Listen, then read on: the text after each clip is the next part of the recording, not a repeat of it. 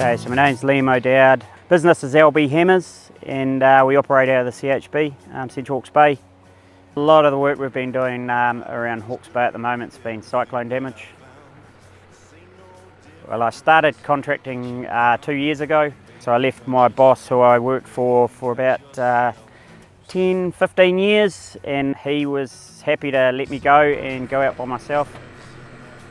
When I was working for my old boss was using a Revolution SS um, and then once we split I ended up leasing it off him for uh, a year and a half. They're pretty generally good machines. They have got a hell of a lot more movement than the other side mounts out there.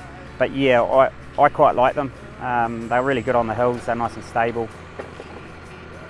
We, we did go and look at other Emmas, but I found the movement on them wasn't up to what I already had, which was the SS.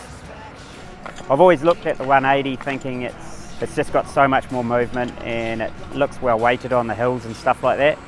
So there wasn't much on the market that have that 180 degree swing on it, plus the end shift. So if you've got both, it eliminates you having to get in and out of the tractor, which uh, time is money, and if you're jumping in and out of the tractor all day, that's, uh, that's going to slow you down. So the slew kit's what I find to be the, the game changer. You don't have to get out of the tractor to um, get to your posts. You can, you can move it around and uh, drop it pretty much on it. They're really good on the hills, stable and well weighted.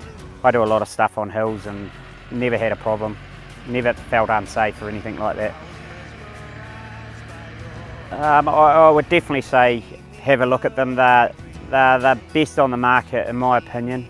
They just don't go wrong. They've got Teflon everywhere so they're protected and I, I just, I just find they go really well. They're built tough and um, yeah, that's the way it should be. When you buy something it should last a lifetime.